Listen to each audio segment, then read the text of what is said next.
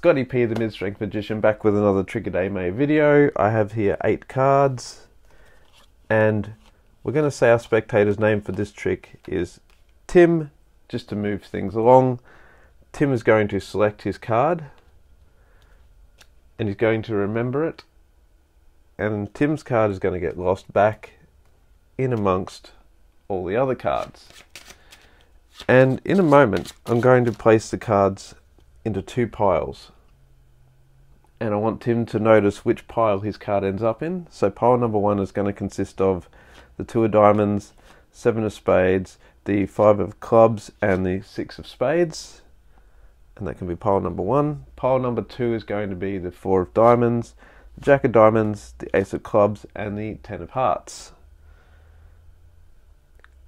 Tim is going to place his hand over whichever pile his card is in think of his card and make a fist. He's then going to move his card over to the other pile and drop it in. So now there should be three cards in one pile and five in the other. So I know Tim's card is not one of these three cards. The trouble is I don't know which of these five it is. It could be the ten of hearts, the seven of spades, the ace of clubs, the jack of diamonds uh, or the four of diamonds.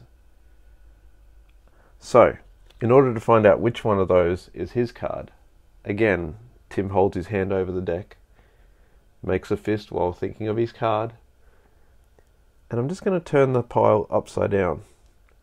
Now, because Tim is holding onto his card, his card should have not turned upside down with the rest of them, telling me that his card was Seven of Spades. That's it. Another Day May video down. A few more to go. We're almost at the end. Hope you've enjoyed it. Remember, there's a playlist I'm putting all these into on my channel if you want to see more. Check out other people's Day Mays. There's some really good ones out there. I'm Scotti P, the Mid Strength Magician, and I bloody love magic.